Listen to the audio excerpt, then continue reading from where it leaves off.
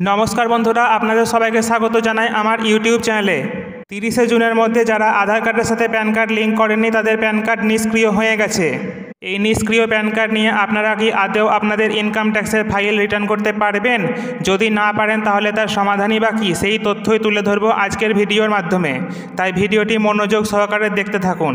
তবে ভিডিও শুরু করার আগে একটি ছোট্ট অনুরোধ। আপনি যদি চ্যানেলে নতুন দর্শক হয়ে থাকেন, তবে চ্যানেলটিকে সাবস্ক্রাইব করে পাশে থাকা বেল আইকনটি ক্লিক করে অল নোটিফিকেশানটি অন করে দেবেন লেটেস্ট আপডেট সবার আগে পাওয়ার জন্য। ভিডিওটি ভালো লাগলে লাইক করে দেবেন এবং শেয়ার করে সকলকে দেখার সুযোগ করে দেবেন। চলুন শুরু করি আজকের ভিডিওটি। প্যান আধার লিঙ্কের সময়সীমা পেরিয়ে যাওয়ার পর থেকেই উঠছে এই প্রশ্ন।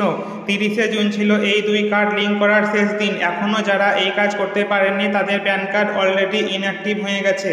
তাহলে কি তারা আর ITR income tax file return করতে পারবেন না। এই প্রসঙ্গে ইনকাম ট্যাক্স একটি নতুন বার্তা দিয়েছে।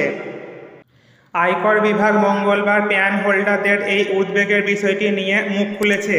যাদের প্যানগুলি আধারের সঙ্গে লিঙ্ক না করার কারণে নিষ্ক্রিয় হয়ে গেছে, এখানে তাদের বিষয়ে বলা হয়েছে। এছাড়াও নন রেসিডেন্ট ইন্ডিয়ানস ও ভারতের বিদেশি নাগরিক ও সিআই তাদের প্যান কার্ডের নিষ্ক্রিয় হওয়ার বিষয়টি ব্যাখ্যা করেছে। ইনকাম ট্যাক্স বিভাগ নিষ্ক্রিয় প্যান কার্ড ও আয়কার রিটার্ন আইটিআর ফাইল করার উপর এর প্রভাব সম্পর্কেও স্পষ্ট করেছে।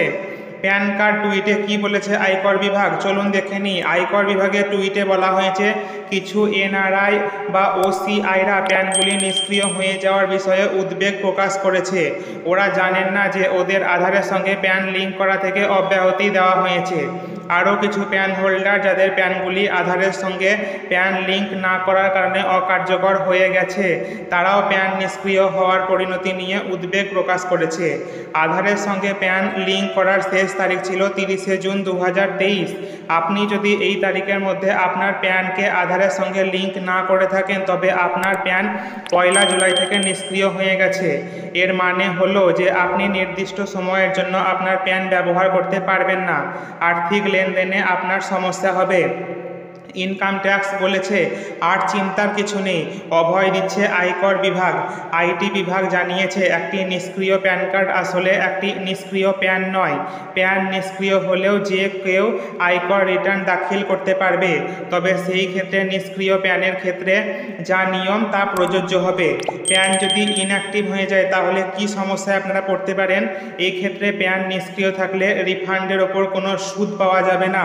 ধারা দুশো ছয় এ এ অনুযায়ী নিষ্ক্রিয় প্যানের জন্য উচ্চ হারে টিডিএস কাটতে হবে। ধারা দুশো ছয় সিসি অনুযায়ী নিষ্ক্রিয় প্যানগুলির জন্য উচ্চ হারে টিসিএস সংগ্রহ করতে হবে।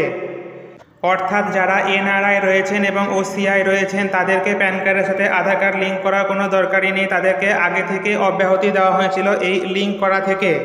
তবে যাদের প্যান কার্ডের সাথে আধার কার্ড লিঙ্ক হয়নি, তারা আপনারা ফাইন দিয়ে লিঙ্ক করিয়ে নিতে পারেন।